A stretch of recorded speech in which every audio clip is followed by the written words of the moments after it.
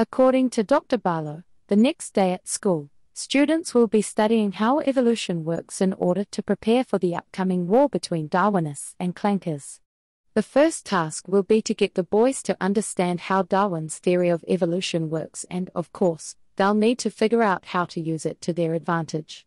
Carroll uses Alice's conversation with the Red Queen in Lewis Carroll's Through the Looking Glass as an example of how evolution occurs when you constantly adapt to keep up with your enemies. Another example is the sexual reproduction, or Red Queen hypothesis, which was first proposed by Leigh Van Valen in 1973.